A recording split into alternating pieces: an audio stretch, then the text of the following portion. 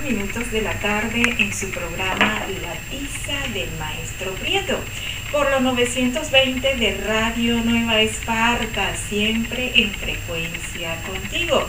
Y llegamos a nombre de la señora Yajaira J. Rivas Guadas quien ofrece todo en útiles escolares, papelería y artículos de oficina. Además, contamos con todo lo necesario en suministro de productos para la limpieza de su consultorio médico, empresa, oficina y todo para el hogar. Llevamos sus pedidos donde usted los requiera. ¿Qué tiene que hacer? Solo llamarnos a los teléfonos 0416-795-5883 y al 0295-263-6785. También llegamos a nombre de la librería Chuare, la primera librería universitaria de Margarita, donde estamos situados en el Valle del Espíritu Santo, a pocos metros de la Unimar. Somos la primera librería universitaria de Margarita y tenemos los libros que usted necesita para sus estudios de ingeniería, administración, contaduría, derecho, arquitectura, leyes, códigos y otras carreras más. Si no tenemos el libro que usted anda buscando, pues no se preocupe, se lo buscamos en tiempo récord. Y algo muy importante, la librería Chuare trabaja en horario corrido desde las 7 y media de la mañana hasta las 7 y media de la noche, incluyendo los días feriados. ¿Por qué? Porque usted va a ser atendido por su propio dueño, el reconocido cuentista, articulista y escritor Juan Carlos León. Los teléfonos 0295-287-0172, 0426-888-7224 y el 0412-356-8294. También llegamos a nombre de la panadería de Paito, el lugar donde usted encontrará una gran variedad de panes, pasteles, golfeados y dulces de la mejor calidad. Fresquecitos y esponjosos, deliciosos al paladar, como a usted le gusta. Estamos situados en, la calle Campos, en el sector genovés, subiendo hacia el INSE a 8 metros de la Escuela Municipal Eleuterio Rosario Campos. El teléfono 0416-899-4628. Bien, y estamos eh, conversando con Tommy Rey Clandestino. Ya hablamos de sus tatuajes y ahora vamos a hablar de sus caricaturas. Bueno, como todo dibujante, ¿verdad? que la gente piensa que uno nada más se ocupa de hacer tatuajes, de rayar el cuerpo, ¿no? Yo también hago dibujos, soy caricaturista, hago ilustraciones, animaciones, pero como tengo mucho trabajo, porque tengo mucho tiempo en ese local, tengo muy poco tiempo para caricaturas, para darle, digamos así, la importancia que debe. Pero esa inquietud la tengo ahí dentro que me fastidia todos los días. Todos los días tengo esa hormiguita ahí que me pica, ¿no? La cuestión de la, de la animación, de la caricatura. Este, para mucha gente eso se hace algo como, imposible, ¿no? Lo que es la, animación, los movimientos, los muñequitos que uno dice, las comiquitas que uno ve en televisión. Pero yo tengo esa inquietud, eh, me la paso investigando, observando dibujos animados, buscando por la internet y bueno, y he encontrado la manera de hacerlo. Lo que pasa es que como eso amerita mucho tiempo porque son mucho trabajo. Una, una animación este, abarca, no sé, son cientos de, dibujos, pues, hay que dibujar demasiado. Sí, eh, un, solo dibujo. Eh, un solo movimiento implica muchos dibujos. Entonces es un trabajo muy, muy latoso, pero es muy bueno, pues muy divertido hacerlo. Claro, por supuesto. Y, y en cuanto a esas caricaturas que tú has trabajado, ¿cuál se te viene ahorita en este momento a la memoria? Mira, lo que pasa es que He hecho, mucho, he hecho muchos personajes, ¿verdad? He elaborado muchos personajes. Tengo siempre que me viene a la cabeza uno que se llama Cantaco. Cantaco. Es un personaje como, como la reconocida Puka, ah. pero masculino, ¿no? Es un, personaje así. Que este, observando mucho la animación japonesa, digamos así, he imitado un poco ese, ese estilo.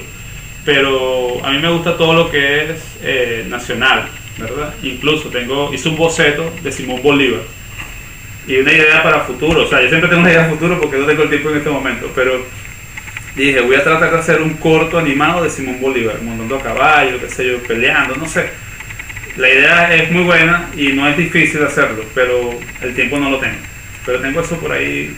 Mira, ¿y nunca has pensado en que eso que, eso, me, eso que me acabas de decir puede servir inclusive para un guion cinematográfico. Claro, sí, claro. Incluso no, soy el único que trabaja esto, lo que pasa es que somos muy, muy escondidos los animadores, los que hacemos ese tipo de cosas, y los ilustradores, pues.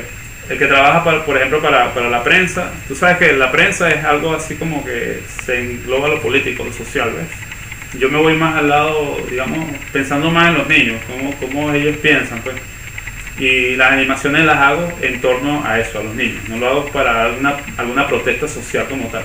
Entonces, eh, digamos que el, personaje que uno crea, por lo menos que, lo que yo hago, los hago pensando siempre en los niños. Y todos son así, cantacoques, si son, es como, como observar a Puca, la mayoría. Me parece interesantísimo, pero también se podrían hacer como especie de caricaturas, historias para niños, que tengan que ver con seres mitológicos o que tengan que ver con seres que tengan que ver con la historia venezolana. Sí, claro. Que tengan que ver con la historia local. Sí, se puede acercar al, al, niño, pues al infante, digamos así, a la historia por medio de la caricatura. Es muy fácil porque ellos al ver esos dibujos le llaman la atención, ¿verdad? Y si son personajes que ya existieron en la historia, eh, qué sé yo, próceres, gente de la cultura, incluso músicos locales. Se puede hacer una, una caricatura de, de Francisco Mata, por ejemplo. De Beto Valderrama. Sí, claro, y, y, de repente atraer a los niños a esa cultura, pues a la historia, digamos. No es difícil. Mira, sería maravilloso. Porque, claro, porque es todo para todos. Sí, y, además sería maravilloso que se lograra cristalizar un proyecto de ese tipo. Y estoy a la orden. Ah, bueno, entonces lo tomaré en cuenta. Sí, sí. Eh, porque mira que se pueden hacer cosas de verdad maravillosas para los niños y una manera entretenida de acercarlos a ellos al conocimiento. Sí, incluso hay una manera eh, rápida, ¿no? Eh, que lo están usando en, Disney. hacen historias, cuentos, digamos el este, el osito este que come la miel. Ajá, el, hormiguero. No, este. Winnie Pooh. Ah, Winnie Pooh. Winnie Pooh, ¿verdad? El, el, el, el, señor de la, de la, del programa. Es que, Él relata el cuento. Es que lo que no saben mis oyentes es que tenemos aquí a, a mi esposa que está aquí escondida, esta es la secretaria. Fotógrafo, pero además la invité a hablar, pero no se atreve. No, no quiere hablar. Está aquí, ella, mira, como, los productores de, radio y televisión que no hablan en cámara, no, nada, Pero está pendiente de todos los detalles. Entonces, eh, el, el, el, tipo está relatando el cuento de Winnie the Pooh, está diciendo Winnie, no sé qué tal, tal, tal, tal y, van apareciendo las imágenes de lo que él va relatando sin mucho movimiento. O sea, son cosas muy rápidas de hacer, ¿verdad? Igualito los niños están entretenidos porque escuchan la historia, ¿ves? Pero al ver la imagen, su imaginación va volando. Claro, y que eso es lo maravilloso. ¿eh? uno puede comentar, relatar una historia local y de repente las imágenes hacen que los niños se acerquen al cuento. Pues. Maravilloso. Bueno, y a esta hora de la tarde vamos a saludar en Jorrecola a la familia Hernández Carpio en especial a los niños Carlito y Susana. En Villarrosa, mi sobrina Camila Alejandra en sintonía. En Asunción, capital de nuestro estado, la doctora María Cans y su compañero Julián Marcano, allí mm, pendiente de este programa todos los jueves. En La Guardia, María González y sus hijos Pedro, Francisco y Luisito. En Carúpano siempre.